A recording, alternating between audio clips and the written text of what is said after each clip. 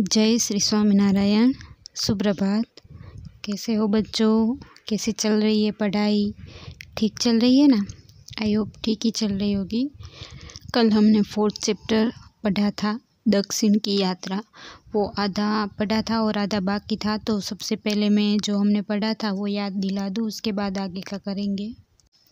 उसमें एक मित्र, दूसरे मित्र को पत्र लिखता है तो सबसे पहले कमल है, उसको लिख रहा है।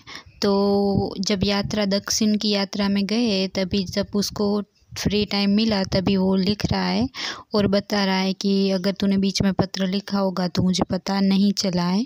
और फिर वहाँ का वर्णन करता है कन्याकुमारी का और वहाँ तीन समुद्र का मिलन होता है, वो भी बताता है। दक्षिण में हिंद महासागर का पूर्व में बंगाल की खाड़ी और पश्चिम में अरब सागर।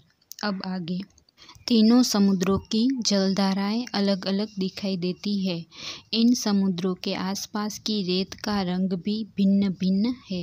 मतलब तीन समुद्र जब साथ में मिले तो तीनों का, तीनों की जलधाराएँ वो अलग है और उसका रंग भी अलग अलग है।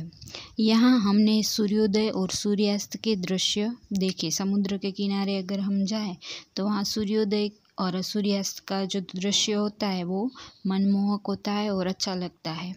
सूर्योदय और सूर्यास्त के इतने अनुपम दृश्य कन्याकुमारी में ही देखे जा सकते हैं। मतलब वो तीन समुद्र एक तो साथ में और सब के अलग अलग रंग और उसमें भी सूर्यास्त का अलग कलर और सूर्योदय का अलग कलर तो अच्छा दिखाई देता है तो यहीं ऐसा दृश्य दिखाई देता है। दूसरी जगह इतना अच्छा नहीं होता है।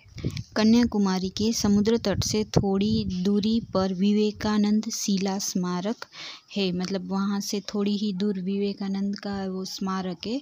स्मारक मतलब कोई भी व्यक्ति या उसकी घटना को याद दिलाने वाली निशानी, ये आपने उसमें भी देखा, सम, शब्दार्थ में भी लिखा है ना वो।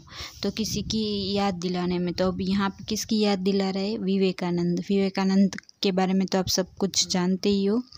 यहाँ स्टीमर से पहुँचा जा सकता है। स्मारक के पास पहुँचकर बड़ी शांति मिलती है। यही तमिल भाषा के महाकवि तिरुवल्लुवर का स्मारक और उनकी विशाल प्रतिमा भी स्थापित है। मतलब वहाँ पे क्या है? मतलब वहाँ पे अगर जाना हो तो स्टीमर से जाना पड़ता है और स्मारक के पास बड़ी शांति होती है। मतलब कोई होता नहीं है और इतना अच्छा लगता है। और तमिल भाषा के महाकवि है एक तिरुवल्लुवर। उसका स्मारक भी वहाँ पे है और उसकी प्रतिमा भी मतलब मूर्ति भी बड़ी है। यहाँ से लौटकर हमने गांधी मंडप देखा। गांधी मंडप समुद्र के किनारे स्थित है। इस मंडप की दीवार से सागर की लहरें आ आकर टकराती है। अब दूसरा साथ में क्या देखा उसने? तो गांधी मंडप देखा। अब वो गांधी मंडप है, वो समुद्र के किनारे है। और वहाँ पे जो उसकी दीवार है ना, वहाँ पे समुद्र की जो लहरें होती है ना, वो टकराती है। कन्याकुमारी में चटाइयाँ शंख, सीपियाँ और लकड़ी की बनी चीज़ें बिकती हमने शंख और सीपियों से बने खिलौने खरीदे। मैंने तुम्हारे लिए भी एक शंख खरीदा है। तो मतलब हम जहाँ पे भी जाते हैं तो कुछ कुछ ना कुछ खरीदते हैं, कुछ ना कुछ चीज़ें वहाँ बिकती भी है। तो यहाँ पे चटाइयाँ शंख, सीपियाँ ये सब मिलता है और उसमें से उसके लिए भी ख़रीदा है। क्या ख़रीदा है शंख? किसके लिए ख़रीदा है? तो उसका जो मित्र है कमल, उसके लिए। अब लास्ट में ये पैराग्राफ पत्र पूरा होता है तो लास्ट में अपना नाम लिखना होता है। तो यहाँ पे किसने पत्र लिखा है? तो तुम्हारा अभिनव। तो अब पत्र लिखते हैं तो स्टार्टिंग में किसको लिख रहे हैं? उसका नाम होता है लास्ट में कौन लिख रहा है? मतलब हम लिख रहे हैं तो हमारा नाम कहाँ पे आएगा? लास्ट में।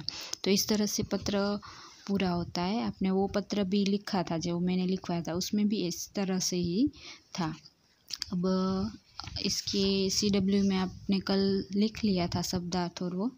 आज आपको राइट होंगे और प्रश्न के उत्तर दूँगी। तो आपको सी डब्ल्यू में लिखना है।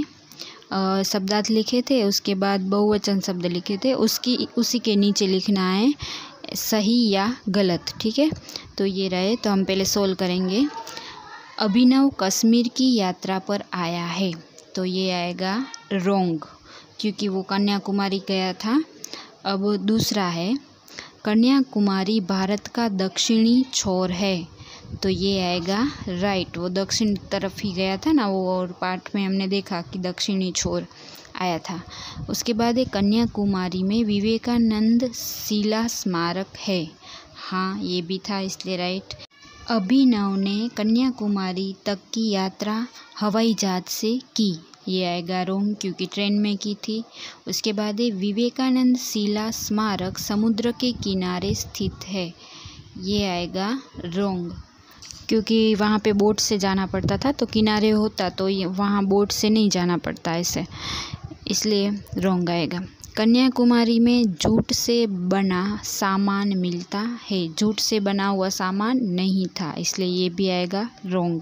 कन्याकुमारी में तीन समुद्रों का मिलन होता है। ये था राइट।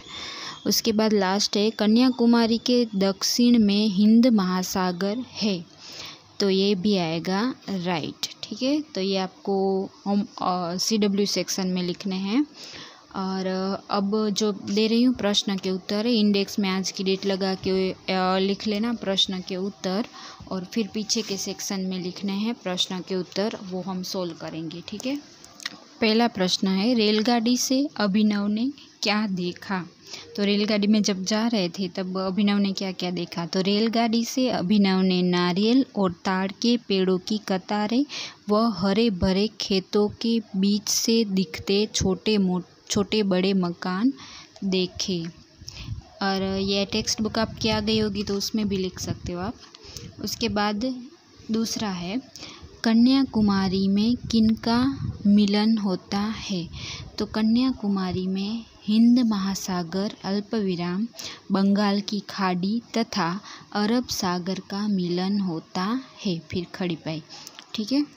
उसके बाद तीसरा क्वेश्चन है कन्याकुमारी के समुद्र तट से थोड़ी दूरी पर क्या है और वहाँ कैसे पहुँचा जाता है?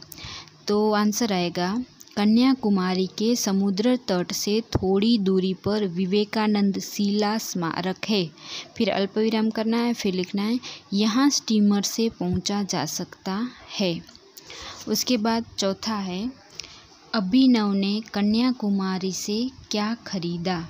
तो अभिनव ने कन्याकुमारी से शंख और सीपियों से बने खिलौने खरीदे। ठीक है?